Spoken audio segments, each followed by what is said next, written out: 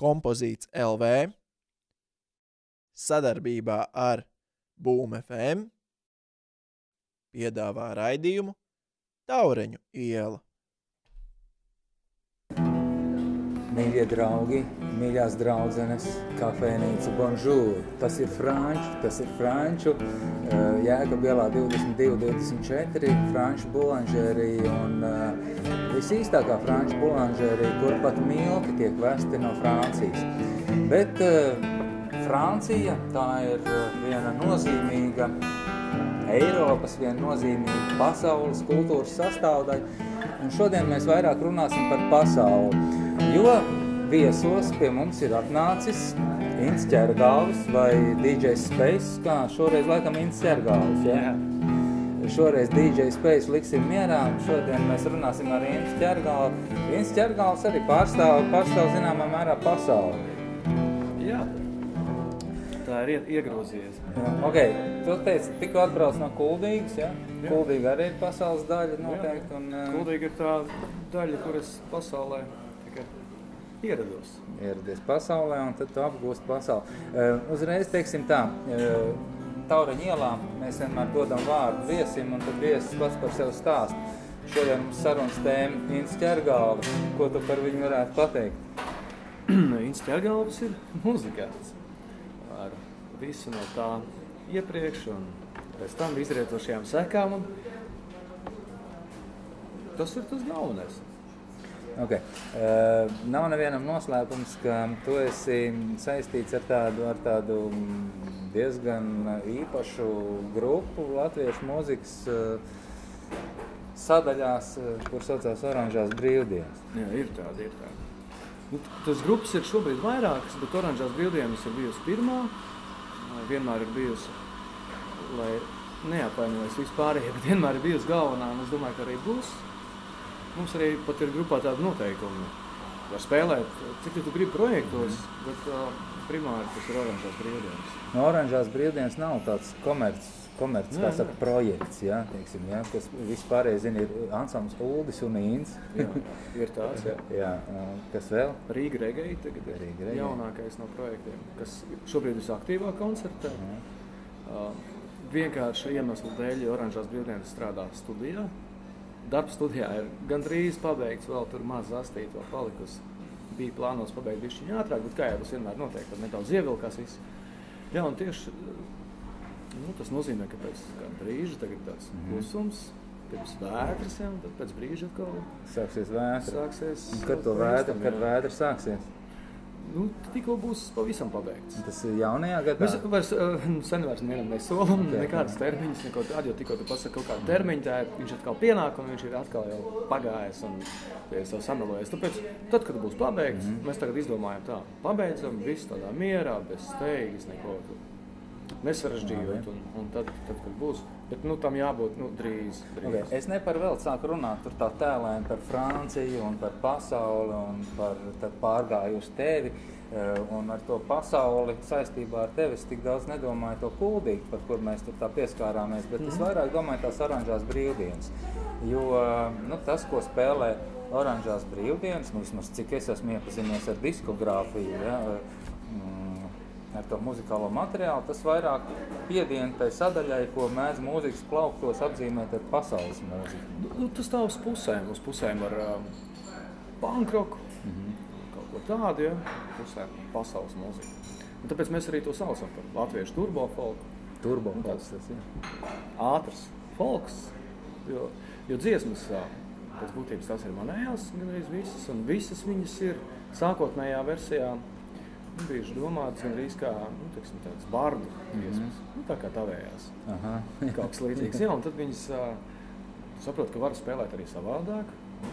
Savās cilvēkus, kā tas notiek. Jo Oranžās brīvdienās esmu vienīgais no paša pirmā sastāva. Mm -hmm. Viņi tā kā veidojas. Tu esi, tu esi tas dibinātājs. Jā, jā, jā. Tā sanāca, ka tie pārējie ir mainījušies. Nu, šobrīd ir diezgan stabils sastāvs, nu jau 5-6 gadus, ja tur nekas tā ļoti būtiski nemainās. Tad es uzreiz jautāšu, cik senas ir oranžās brīvdienas? 15 būs. 15 būs jā. jo nākot, nākot tā kā, tā kā mēs riktējāmies uz to filmēšanu, es operatoru kungam teicu, ka būs Inns Ķergāvis, um, un kaut kā aizrunājāmies par tavu vecumu, un uz jautājumu, cik tev ir gadi, es teicu, ka es tik tiešām nezinu, ja, un tiešām, man nekad nav licies tas tik svarīgi, varbūt, bet varbūt tā tu pasaka, cik tev ir tie gadi. 32. 32, Man liekas, ne? jā, 32. Man bija nesen uh, oktobrī, bija dzimšanas diena. jā. Tas nozīmē, tev bija 17 gadi, kad tu izdomāji, ok, tagad ir brīdis taisīt blīci.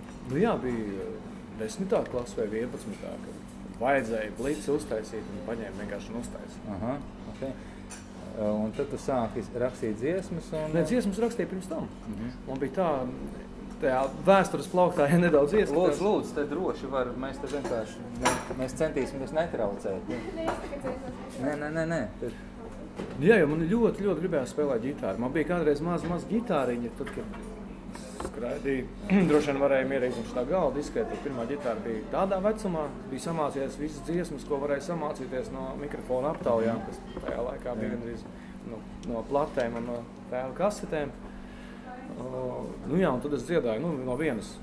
Pirmās divas rindiņas, tad no nākamās kaut kas no piedziedājuma. Tad man bija un tāds laika auga un tas, tas repertuārs. Ar repertuārs ne, viņš nemaina. Nu, viņš visu laiku bija stabils. Viņš iemācījās mums darbu lietas. nāk no bulanžēries.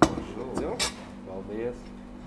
Jā, un tad viņš pieauga klāt. Un Pamazām tas repertuārs izveidojas jau garš. Bet, nu, bet tā tas arī beidzās. Mhm. To sapni, ka vajag iemācīties pa īstam spēlēt. Dabūju to ģitāru.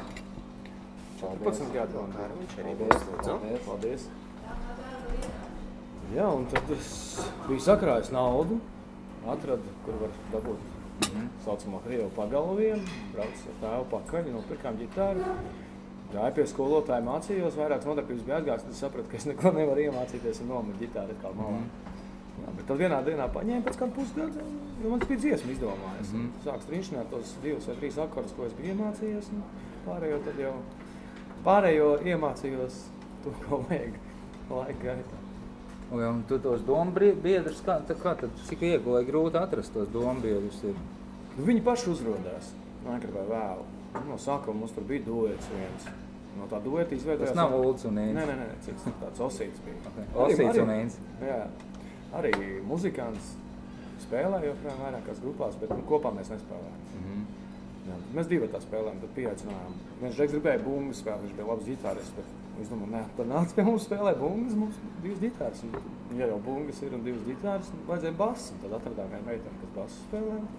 Tas bija pirmais oranžo brīvdienas sastāvs. Okay, tu saki, tās visas dziesmas nu, veidojušās tā kā tādas dziesmnieku dziesmas. Tas nozīmē, tu arī tajos dziesmnieku pasākumos uh, kādreiz piedalījies tur vai Jā, nu ļoti reti man aicina uz dziesmnieku pasākumiem, jo sev reizēm arī nevar tā nesāds domas noturēt pie sevis, varbūt, kuras nevajag. Un Es jau vienreiz arī biju Ko slikti pateic? vai? Jā, jā, tiem organizatoriem es vienreiz saku, nu jā, tos, kas uh, spēj savākt sastāvu, tos jau jūs neaicināt. Mhm.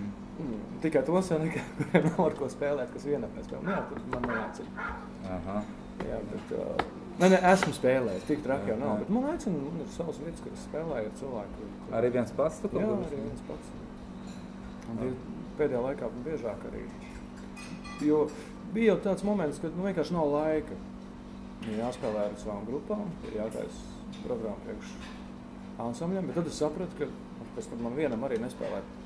Teiksim, tos pašus skaņdarbus. Citreiz jau mierīgāk vienam, Jā, vai ne? tā. tā, es nezinu, man vismaz publikai liekas, ka var tā, tā emocionāli vairāk atvērties, ka tu esi viens.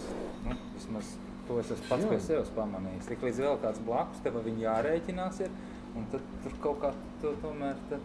Nu, viena brīdi man bija tā, man liekas, ka, ja teiksim, oranžo brīvdienu ir repertuārs ar oranžo brīvdienu, tad ūdu un inta ir ūdu un inta, un tad man jāspēlē vēl kaut kas cits. Ir. Mhm. Es sapratu, ka ne, es taču varu, nu, protams, ir kaut kādas dziesmas, kuras es spēlēju arī viens, un tad spēlēju klāt no teiksim, oranžām brīvdienām un nospēlēju akustiskā versijā, varbūt tos ātros gabalus, nu, kur cilvēkiem nav zinām tādā versijā, tas ir, nu, man vismaz tas ir interesanti, un ja publikai patīk, tad gan jau arī viņiem. Varbūt vienu dziesmu šajā gadījumā. Vienu varētu.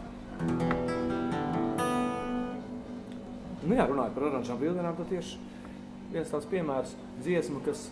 Kas tagad rakstās? Studijā? Nē, no iepriekšējiem albumiem. albumiem. Tās jaunās tās nerādīs. Var jauno vienu. Nē, nē, labi, šito un pēc tam jaunu. Labi. Nerunāsim aplinks. Tā zināmākā oranžā brīvdienu dziesma, bet viņi sāk spēlēt arī tādā akustiskā versijā. piedurnē,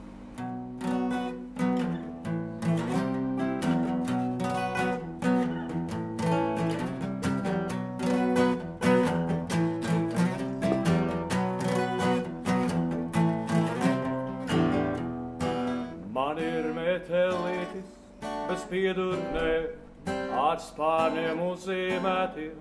Gribu lidot ātrāk par lidmašīnu un trīs reizes noķert savu ēnu. Man ir čegēvāra sacis un saules brilles, restotas pēc rēgiem un mēmiem bērniem trešās klases, kur nav stilšu kastes.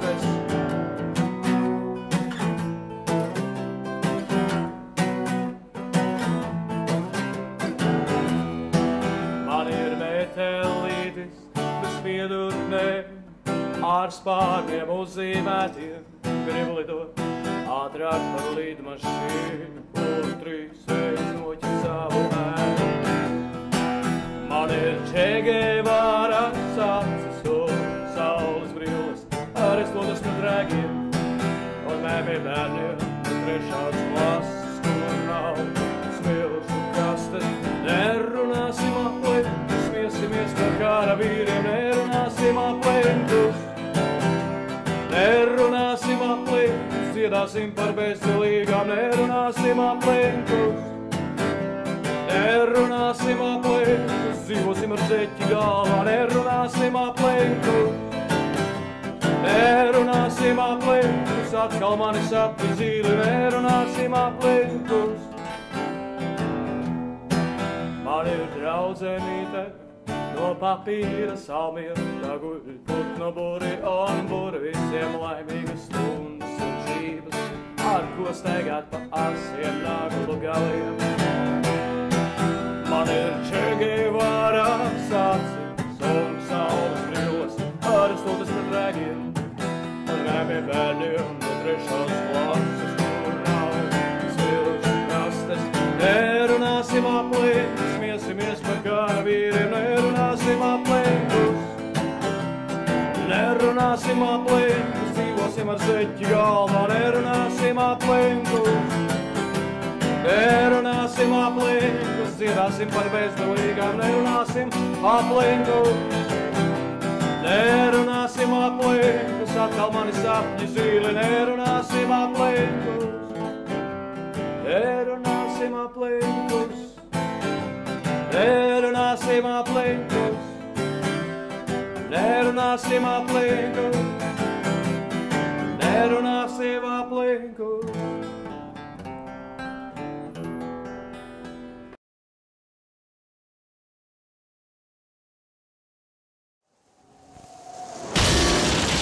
Tāda sajūta, ka netiek vispār. Es nezinu, cik, cik ilgi viņš pumpēs to ūdeni. Nu, tagad, tagad tu varbūt pastāst. Tātad putnas ūdeņš ir tomēr palicis.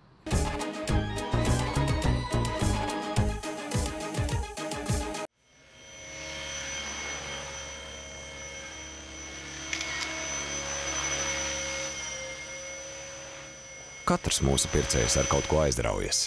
Mēs ar datortehniku, kapitāla datorveikali. Inter. Mm. Kas ir būmēm? Oh, ha! nu, ideāli. Ideāli, nu, jā. Bet žēl, ka tikai internetā. Nē, ir arī televīzijā. Nu, internetā un televizorā. Jā. Žēl tikai, ka tā. Jā. Bet drīz jau viņi visi būs internetā. Par labsajūtu un dzīves kvalitāti jūsu mājā parūpēsies Lux Control. Lux Control piedāvā markīzes, saules sargus, pergolas, žalūzijas un energoefektivitātes risinājumus. Uzziniet vairāk mūsu mājas lapā Lux Control LV vai atnāciet ciemos Rīgā Skanstes ielā 54.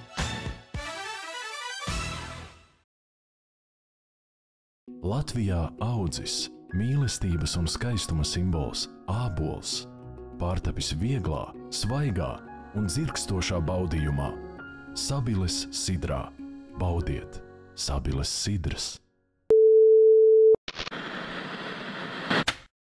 Uzmanību, uzmanību, paziņojums.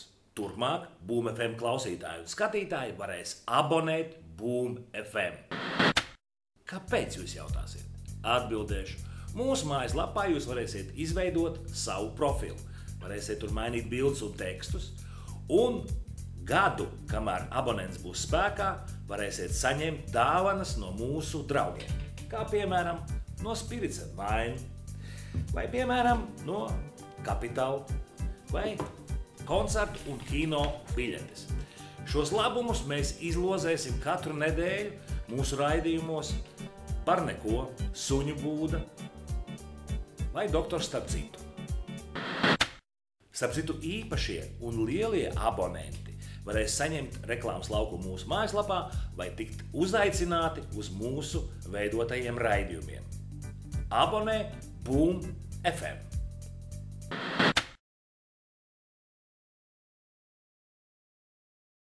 Bonžūr, otrajā stāvā, starp citu, divu stāvu kafejnīca, un otrajā stāvā mēs te šobrīd uh, muzicējam tā, ka visa kafejnīca pieklusa. Visi. Ļoti labi. Jā. Klau, um, oranžās brīvdienas, es zinu, ka brauc arī pa pasauli. Jā, šad, Izstāst, kur jūs esat bijuši šajos gados? Mm, Vairāk ir tādi lielie braucieni bijuši. Lielākais bija uz Balkāniem. Ne garākais, bet tiksim, tālākais un varbūt interesantākais. Maķedonija, Bulgārija, tām valstīm. Un tur uz kaut kādu konkrētu festivālu? Nē, nē, nē, mēs braucām tūrē. Sēdējām šeit, rakstījām ēpastus, zvanījāmies, organizējām kāds 11 koncertus. Bet jūs jau diezgan pulka ļaužu. Cik esiet jūs? eh, Tagad tādā deviņi. Optimālajā Deviņi deviņi. optimālajā, Nu, tad, lai deviņi aizbrauktu, Jā. tur jau tur, nu, Bet mēs tad, tad vēl braucām ar diviem busiem. Uh, un vairāk mums braucām bijuši, tad mēs vēl daudz paņemam draugus līdzi. Lielākais bija laikam 16, kad mēs laidām. Aha. Tad, bet arī sastāvā bija 12 cilvēki. Normāli. Jā. Nu, un um, tad jūs aizbrauciet, teiksim, nu, uz Maķedoniju, un uh, tad uh, jūs dziedat latviski vai latviski, Jūs tikai latviski dziedat. Oranžas brīvdienas, jā. Ir daži varbūt izsaucieni un kādā dziesmā kāda vārdu teiksim, Everybody tancē. Jā, Mums bija arī tāds tā kā, demo albuma nosaukums. Un, arī tāds viens skaņdarbs bija. Nu, tā, lai pašiem būtu smieklīgāk, varbūt un publika arī kaut ko saprast. Nu, ko tad tur saka tie ļaudis Maķedonijā, kad jūs tur dziedat latviski? Nē, ko, ko viņi saka? Uh, Maķedonijā nu, viņi dejo un Nē, nē, nu, ne- nav, nav nekad neviens teicis, hei, nu, mēs nesaprotam Nē, vārdus, nu, kādēļ jautāja, nu, kāda klasiska Latvijas dilemma, vai ne, nu, māksliniekiem, kas uzstājās ar dziesmām. Vai nu dziedāt latviski, vai dziedāt angliski, nu, vēl trešā versija krieviski, ja, nu, vai Jā. tā kā Krievijas tirgumu, Eiropas, pasaules tirgumu vai vietējiem Bet tirgumu. Man absolūti nav nekādu ne aizspriedumu, ne, tiksim, ka nevajadzētu dziedāt angliski vai krieviski. Jo, piemēram, šobrīd projektā Rīga Regēra Horēna kopā mēs dziedam trijās valodās. Ok, tātad Rīga Regējs, tas ir, ok, pie tā pie, Jā, jā, jā. piekrist, Un mēs dziedam trijās valodās. Oranžās brīvdienas vienmēr ir bijušas. Jo es rakstu dziesmas tikai latviešu. Mm -hmm. Pats teicis, rakstu latviešu valodā, nerakstu citās valodās. Un dziedu pats latviešu pārsvarā. Mm -hmm. Nu, jā, un tad, uh, Un Horēns, es zinu, raksta Esperanto, vai ne? ne, viņš angliski. Viņam, viņam labāk patīk angļu valoda. Jā, jā. Nu, Viņš tagad dzied sapcīt latviešu pirmo reizi mūžā, jā, kopā ar mani. Viņam. Nu, beidz, viņš ir, ir dziedājis Latvijas. Ka, Nu, nu, viņš to saka tādā nu, ziņā, ka viņš ir koncertos. Un, nu, jā, un pie kā mēs tur palikām. Mēs pie, palikām pie oranžo brīvdienu uzstāšanām ārzemēs latviešu valodā. Es kāpēc tev tagad te Nu, piemēram, piemēram, Vācijā. Es gribēju izvilināt to stāstu, ko tu man kādreiz esi stāstījis. Jā, tas ir tas, ko es tagad mēģinu stāstīt. Labi. Es, nu, mēs, tu, tur to vislabāk vienkārši varēja redzēt, kāpēc to arī bieži pieminu un stāstu. Cilvēkiem pasaka, ka tu spēlē no, no Latvijas. Mm -hmm. Zinās valodā, kādā runā, nu, labi, ja divi miljoni cilvēku. Un viņi jau uzreiz ieklausās. Viņiem tas jau ir interesanti, jo tas jau ir kaut kas eksotisks un kaut kas varbūt, nu, Mums tā liekas, ka divi miljoni mums visa Latvija. Jā, jā, jā. Teiksim, Tavu raidījumu noskatīsies visa Latvija. Man, man raidījumi noskatīsies 25,000. Tas it kā, it kā skaitās pat ok. Nu, Jā. tā ir labs daudzums Latvijai. Ja, bet, Jā, bet paskatīsimies Ķīnā uz izmiršanas robežas tautu, ja, kur ir 40 miljoni, kur es nesen kaut ko tādu Jā, nu, kur Traki, kaut, jā, kaut kāds viņi- pabalsts, tur dod, lai izdzīvot. Jā.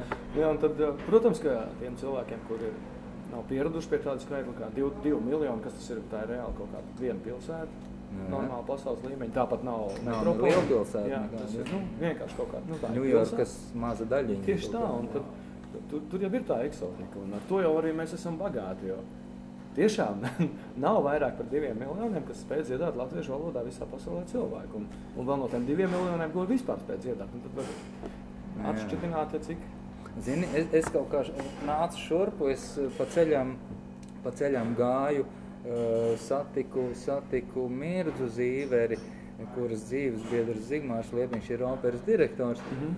Un es aizdomājos vienkārši, kā tas nākas. Latvijas opera mākslinieki, klasiskās mūzikas mākslinieki, viņi ir tik, tik lielos topos mm -hmm. no mūsu mazās tautas. Ja? Viss tā kora māksla, opera māksla. Kā tas var būt? Gēnos kaut kā. Varbūt viņi kaut kā arī necenšas kaut ko mākslīgi, kaut ko radīt kaut kādam tirgumam, vai kā viņi vienkārši dara to savu lietu. Kā, cik vien Es labi. nezinu, nu, man liekas, ka mēs arī, um, lai kāds nepārprot, es nemēģinu nonie, no, nonie, no, noniecināt kaut kādā veidā. Bet tas, ko mēs uh, šeit, tiksim, mēs uzskatām, ka, nu, ka mēs esam kaut kas šausmīgi īpašs un ļoti daudz, ko nu, pasaulē spējam sasniegt.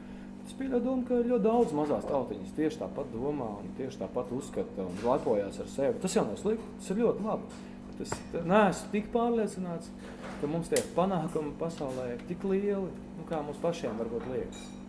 Jā, Tu domā par tiem operu Ne, māksliniekiem? ne, ne konkrēti par viņiem, vai Jā, pat vispār. jā, jā. teiksim, Mēs, daudziem ir iespējas, ka latvieši visi dzied, ja, nu kā, Mhm. mums ir dziedošā tauta, ka pasaulē apmēram ne, nekur nav cita tauta, kas māca tādu dziedāt. Nu, Ir cits tauts, kas dzied un dzied ļoti smuki. Un, Jā, bet nu, kaut vai nu, man ir tā iespēja kaut kur bišķiņ ieklausīties. Kaut vai tas pats doma, Rīgas doma zēnu koris. Eh, Viņi brauc un viņi, viņi, viņus ļoti, ļoti atzīmē, ka, ka tā kvalitāte ir nu, baigi labā.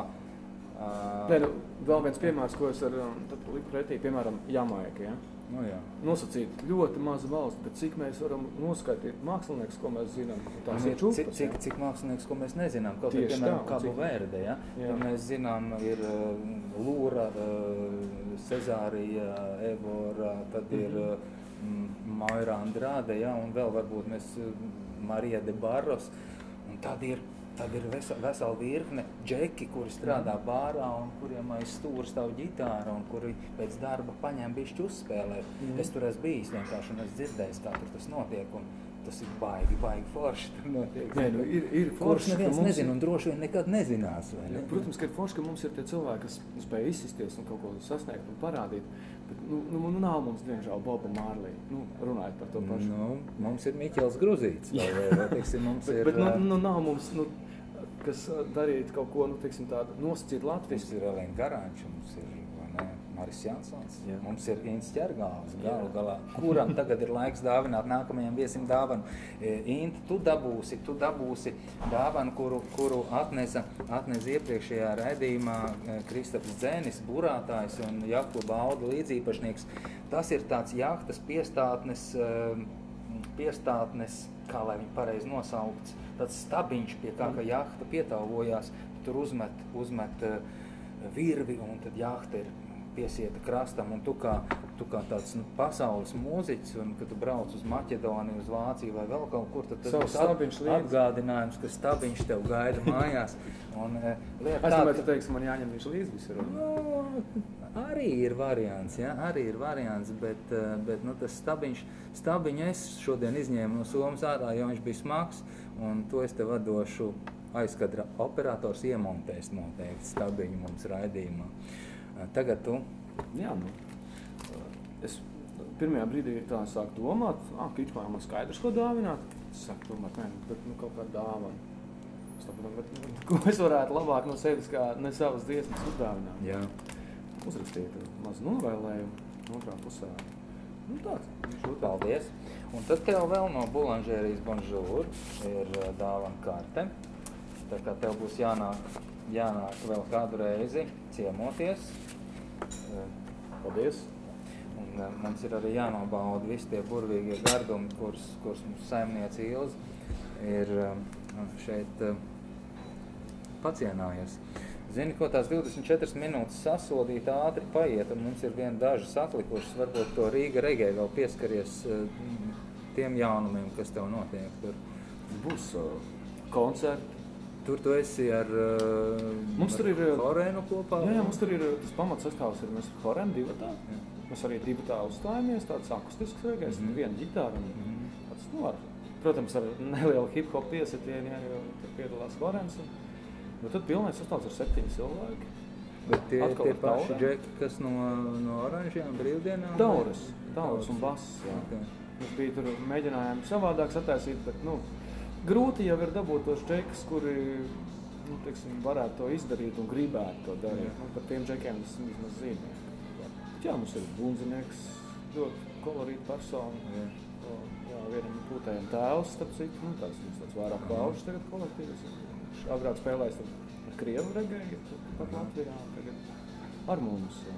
Nu, un par vēl pārlecot atkal pie oranžajām brīvdienām, tātad disks tiks ierakstīts, jā, albums, jā, Jā, jā, albums, uh, kas nonāks arī kā mūsdienās, mūsdienās albums raksta arī flashos, ja, kur esot iepakojums un flash iekšā, kā tur jums būs, jums būs tomēr tas klasiskais. Mums būs rainbows, CD noteikti. Noteikti būs CD par flash, ko mēs esam domājuši, bet vai viņš būs vai nebūs, pagaidām nevar pateikt īsti. Nu, un tad jūs kaut kur arī brauksiet atkal uz Maķedoniju? Noteikti. Kaut kur mēs brauksim. Mums ir noteikti jāaizbrauc uz Vāciju, ja mēs solam, solam. Tā ir tā valsts, kur, kur mūs kaut kā gaida. Bet jūs kaut kā, jums tā kā zvana raksta un saka, jā, hei, veči, aicinu, ja? aicinu braukt, aicinu. Tur ir vairākas vietas, kur viņi, jā, pasakiet, kuru sestdienu vai piedienu jūs varat, un mēs rakstam iekšā. Nu, ir tā problēma, ka ir darbi, lielai daļai dalībnieku, lielā, nu, gan arī visiem. Bet ceļa nauda gal galā, vai to tie... Ne, bet to, vai to, to mums tā kā, jā? izdodas, jā. Nu, nebrauc jau uz vienu koncertu, mm. -hmm. aizbrauc un vairākas nospēlēm, tā ceļa nauda jau sanāk. Un, Mhm. un pēdējie braucieni visi ir bijuši tādi ar mazu plusiņu, kas ir, nu, ja tu vari izbraukt jau nepaliekot mīnusā, tad jau Bet no oranžās brīvdienas, es saprotu, tas tomēr, nu, jums nav tā kā komerc projekts, tas ir... Nē, nu, nē, tas nav tā, ka mēs tagad aizbraucam jā, un visi jā, atbraucam jā, divas jā, nedēļas jā. nopelnījuši naudu. Nē, mēs atbraucam ar tikpat daudz naudas, cik mēs aizbraucām, bet vismaz tas ceļš un ēšana varbūt un, un, ir Jā. sanācis pa spēlēšanu. Es nekļūdos, ja es teikšu, ka tev īpaši tuvu ir tā Balkānu stila mūzika. Vai tas man tikai tāds Viena no, radies? viena no, jā, noteikti. Ja? Viena no tuvākajām. Un vēl? Nu, Tas pats regējs, skā mūzika, kas ir mūsu polka un balkānu mūzika, un skā ir ļoti, ļoti tūs viss tas. Nu, Un kur Latvijā? Jūs šeit kādos festivālos šeit un tad uzspēlējāt? jā, laba daba viennozīmīgi ir pirmais, kur arī visvairāk likums, jā. vairāk gribas uzspēlēt. Jā. Un ar abām grupām arī mēs uzspēlējam. Mhm. Ar Uldni varbūt vairāk ir tāds ballīšu nu, repertuārs. Tas šobrīd ir maz pauzīt, jo Uldis ārzemēs skaņo Krievu baletu trupu, brauc koncertūrē pa visu Eiropu. Viņam pašam savs puantas varbūt tagad ir. Bet viņš būs atpakaļ februārī, kā vēlākais. Tad atkal sāksim spēlēt. 24 minūtes īsnībā ir ārkārtīgi īsts laiks. Un, uh, varam tikai bišķiņ, bišķiņ pieskarties tām lietām, par kurām varētu arī runāt mazliet ilgāk. Nu, kas zina, varbūt mums būs atkal kādreiz tāda iespēja. Paldies, Inka, ka atnāca. Un, Paldies, ā, Eri.